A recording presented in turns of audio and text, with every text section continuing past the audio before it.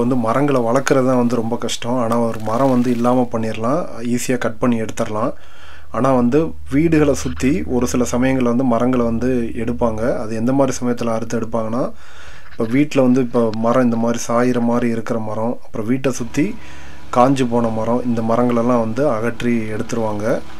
ஆனால் அதுலேயும் வந்து நிறைய பயன் இருக்குது அது என்னன்னு இந்த வீடியோவில் பார்ப்போம். இப்போ நம்ம வீட்டு பக்கத்தில் இந்த ரெண்டு மரமும் காஞ்சு போய் ஒன்று வந்து சாஞ்சு கிட சாஞ்சு கிடக்கு. இந்த மரத்தை வந்து இப்போ கிளியர் பண்ணுறதுக்கு ரெண்டே ரெண்டு பேர் தான் வந்திருக்காங்க. அவங்க ரெண்டு பேரும் ஒரு பத்து பாஞ்சு நிமிஷத்துலேயே இந்த மரத்தை வந்து தூள் தூளாக ஆக்கி எடுத்துகிட்டு போயிடுவாங்க எப்படி பண்ணுறாங்கன்னு பார்க்கலாமா? முதல்ல வந்து மரத்துக்கு அடியில் இருக்க க எட்டரை தூரம் வரை இருக்கிற கிளைகளை வந்து இந்த மாதிரி எலக்ட்ரிக் ரம்பத்தை பயன்படுத்தி அதை வந்து எடுக்கிறாங்க. எடுத்துகிட்டு அந்த கிளைகளெல்லாம் இந்த மாதிரி வண்டியில் இருக்கிற கட்டிங் மிஷினில் போட்டு அதெல்லாம் வந்து முதல்ல தூளாக்குறாங்க அதுக்கப்புறம் இந்த மரத்தை வந்து அடியோடு அறுத்து இந்த மாதிரி சாய்ச்சிட்றாங்க சாய்ச்சிட்டு இப்போ அந்த கட்டிங் மிஷின் இருக்கலாம் அதுலேருந்து வந்து இரும்பு கயிறை வந்து இந்த மாதிரி எடுத்து மரத்தில் நல்லா கட்டுறாங்க. கட்டிட்டு இப்போ மரத்தை வந்து அப்படியே அந்த கட்டிங் மிஷின் வரையும் வந்து நல்லா ஈஸியாக இழுத்துட்டு போயிடலாம் இழுத்துட்டு இங்கே வந்து இந்த மரத்தையே வந்து இந்த கட்டிங் மிஷின் வந்து தூள் தூளாக ஆகுது கட்டிங் மிஷின் வந்து ரொம்ப நல்லா பவர்ஃபுல்லாக இருக்கும். இது வந்து கொஞ்சம் சின்ன மரம் தான் இதை விட பெரிய மரத்தை கூட வந்து இந்த கட்டிங் மிஷின் நல்லா கட் பண்ணிடும்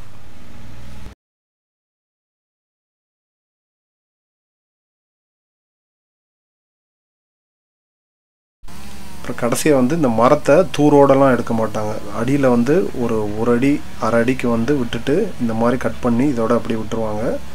இதாக வந்து அந்த வேர் வந்து அதான் மக்கி போய் அதான் வந்து மண்ணோட மண்ணாக போயிடும் இப்போ இந்த மாதிரி மரத்தை வந்து கட் பண்ணி தூள் தூளாக ஆக்குறது வந்து வருஷம் வருஷம் பண்ணுவாங்க. ஒவ்வொரு வருஷம் வந்து மரத்தெல்லாம் கொஞ்சம் செக் பண்ணிவிட்டு எந்தெந்த மரம் வந்து வீட்டில் விழுகிற மாதிரி இருக்கோ அதெல்லாம் வந்து அகற்றி எடுத்துருவாங்க. ஏன்னா இதெல்லாம் மரம் வீட்டில் வீட்டு மேலே விழுந்துச்சு அப்படின்னா வந்து ரொம்ப செலவாக இருக்கும். இப்போ வந்து இந்த மாதிரி ஒரு பெரிய மரக்கட்டையாக இருந்தாலும் சரி கட்டிங் மிஷின் வந்து நல்லா தேங்காய் சில் மாதிரி திருவிடும். இப்போ இந்த மரத்தை வந்து நம்ம எரிச்சாலும் வந்து சுற்றுச்சூழலுக்கு மாசு தான் இல்லாட்டி நம்ம குப்பையில் தூக்கி போட்டாலும் யாருக்கும் வந்து பயன் இல்லாமல் போயிடும் இப்போ இந்த மாதிரி மரச்சக்கையாக மாற்றிட்டு அதை வந்து நம்ம நிறைய இடத்துல வந்து பயன்படுத்தலாம். இப்போ இந்த மாதிரி பார்க்கில் இந்த மாதிரி இடத்துல வந்து இப்போ மரச்சக்கையை போட்டு விட்டோம் அப்படின்னா குழந்தைகள் வந்து கீழே விழுந்தாலும் அவ்வளோவா வந்து அடி விழுகாது. அதே மாதிரி இப்போ மண் வந்து மண் தரையாக இருக்குது அந்த இடத்துல வந்து சகதி நிறையா மழை பெஞ்சா வருது அப்படின்னா அந்த மாதிரி இடத்துலையும் வந்து இந்த மரச்சக் மரச்சக்கை வந்து பயன்படுத்தலாம். அப்போ வந்து சகதி வந்து ஆகாமல் கொஞ்சம் இடம் பார்க்குறதுக்கு வந்து நல்லா சூப்பராக இருக்கும். அப்புறம் இதில் இன்னொரு முக்கியமான பயன்பாடு என்ன அப்படின்னா இதை எடுத்துகிட்டு போய் இந்த மாதிரி மூடாக்கா வந்து ஒரு சில வருடங்களில் வந்து மாற்றிடுவாங்க மாற்றிட்டு இதை திரும்ப வந்து மரத்துக்கு செடிக்கு இதுக்கெல்லாம் வந்து உரமாகவும் அப்புறம் அதை சுற்றி களைச்செடி வராமல் இருக்கிறதுக்கும் வந்து பயன்படுத்துவாங்க. இப்போ இந்த வீடியோவில் வந்து ஒரு சின்ன தகவல் தான் வந்து ஷேர் பண்ணியிருக்கேன். பிடிச்சிருந்தால் லைக் பண்ணுங்கள் மற்றவங்களுக்கும் இந்த வீடியோ வந்து ஷேர் பண்ணுங்கள் அனைவரும் செடிகளை வளர்ப்போம். அனைவருக்கும் நன்றி.